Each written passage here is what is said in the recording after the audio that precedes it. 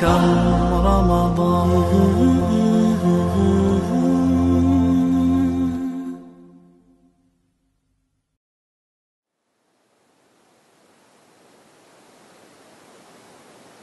بسم الله الرحمن الرحيم. الحمد لله رب العالمين والصلاة والسلام على نبينا محمد وعلى آله وأصحابه أجمعين. أما بعد Uzvišeni Allah subhanahu wa ta'ala stvoritelj je svega što postoji. On je onaj koji je oduvijek. On je onaj koji je zauvijek. Uzvišeni Allah subhanahu wa ta'ala, svemogući i sveznajući, stvoritelj nebesa i zemlje, stvoritelj svega što postoji, stvoritelj nas ljudi. Uzvišeni Allah subhanahu wa ta'ala stvorio je čovjeka sa određenim ciljem i dao mu obaveze i obavezao ga određenim dužnostima i postavio mu zabrane i opet sve u interesu čovjeka kome je uzvišeni Allah subhanahu wa ta'ala podčinio sve što je na ovom svijetu. Poslanik sallallahu alaihi wa sallam pita Muaza ibn Džebela radijallahu anhu znaš li šta je to Allahovo pravo kod ljudi i šta je to pravo ljudi kod Allaha subhanahu wa ta'ala. Pa je poslanik alaihi salatu wasalam pojasnio Muad ibn Džebelu i ummetu poslije njega da je Allahovo pravo da ga obožavamo i da mu ne pripisujemo sudruga, odnosno da mu ne činimo širk, a da je pravo ljudi kod Allaha subhanahu wa ta'ala da ne kazni onoga komu ne čini širk, odnosno komu ne poistovjećuje sudruga. Vjera Islam je zasnovana na jednom velikom temelju. Temelju jednoći Allaha subhanahu wa ta'ala. Vjerovanju da je samo Allah taj koji je stvoritelj svega što postoji, koji je apsolutni gospodar svega, da je on taj kome činimo ibadet i samo ime njega činimo ibadet i da je on taj subhanahu wa ta'ala kome pripadaju uzvišena svojstva i lijepa imena. Zbog toga čovjekova dužnost prema Allahu subhanahu wa ta'ala jeste da izvršava one obaveze kojima je Allah obavezao čovjeka. A mi kad govorimo o obavezama prema Allahu subhanahu wa ta'ala, na prvom mjestu je ono što se naziva islamskim šartima. A njih poznato je da ima pet. Prvi je izgovaranje kelime i šehadeta, svjedočenja da nema drugog Boga sem Allaha subhanahu wa ta'ala i da je Allahu, da je Muhammed sallallahu alaihi wa sallam Allahu poslanik. Na drugo mjesto dolazi namaz. Potom post. Na četvrto mjesto dolazi izvršavanje zekata i na peto obavljanje hađa. To su naše dužnosti prema našem gospodaru subhanahu wa ta'ala. To je lična karta jednog muslimana. To je ona osnova. To je ona osnova koju smo dužni izvršiti prema Allahu subhanahu wa ta'ala.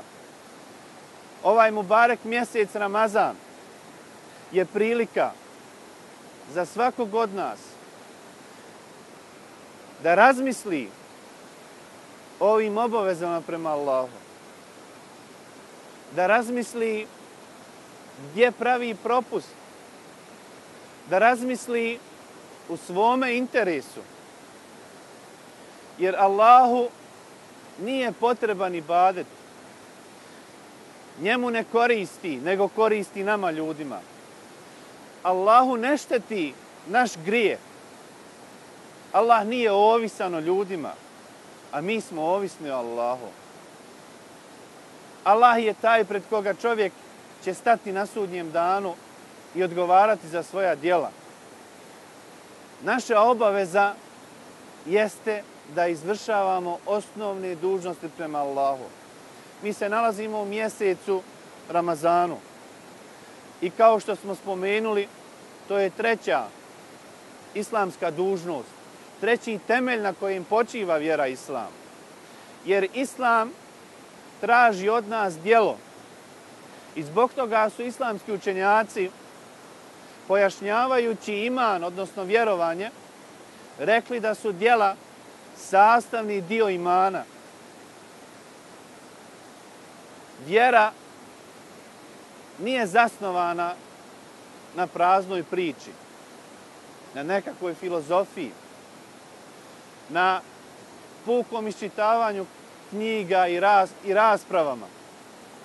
Vjera traži od nas dijelo. Znanje se uči da bi se praktikovalo.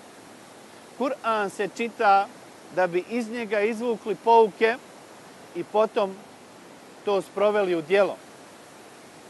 I učimo život Allahov poslanika, ali i salatu wassalam, kako bi znali kako se uzvišeni Allah istinski obožava.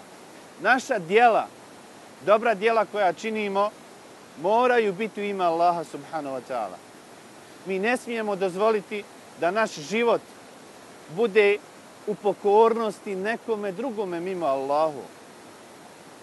Jer život vjernika je zasnovan na vjeri u jednog jedinog Allaha i pokornosti jednom jedinom Allahu subhanahu wa ta'ala i ne bilo kome drugom.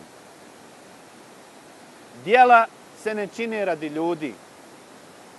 Nama se ne obavlja da bi nas neko vidio. Ne postimo da bi rekli nekome da postimo. Ne udjeljujemo sadaku da bi neko rekao kako smo mi dobročinitelji. Ne pomažemo i ne savjetujemo druge kako bi neko rekao da smo pametni. Naša, naše svako dobro dijelo mora biti zasnovano na ihlasu, odnosno iskrenosti. A ihlas jeste da dijelo činimo ime Allaha subhanahu wa ta'ala. To je naša osnovna obaveza i to je Allahovo pravo kod nas da se samo njemu subhanahu wa ta'ala pokoravamo. A on je istinski dostojan toga i on je onaj koji zaslužuje i niko drugi mimo njega subhanahu wa ta'ala jer je on savršen, jer on apsolutni gospodar, jer je on koji nam je podario sve ono što posjedujemo, stvorio nas je, dao nam život, dao nam na faku, dao nam zdravlje, dao nam razum kojim razmišljamo, dao nam mogućnosti, dao nam tijelo koji možemo da iskoristimo radi našeg interesa, da iskoristimo, da doprinesemo sebi. I ove dužnosti kojima nas je Allah zadužio, radi naše su koristi jer mi zato imamo nagradu. A sve one zabrane su radi naše koristi, jer, nas, jer nam Allah subhanahu wa ta'ala zabranjuje sve ono što je štetno za nas. Zbog toga sigurno je da je put uspjeha put koji nas vodi ka Allahu subhanahu wa ta'ala. A prilika da stanemo na taj put i popravimo svoje stanje jeste upravo ovaj mjesec Ramazan. Zbog toga molim Allaha subhanahu wa ta'ala da nas učurci na putu istine, podari nam snage i učini od onih koji su uspjeli na ovome i koji će uspjeti na budućem svijetu. Amin i rabbel alamin.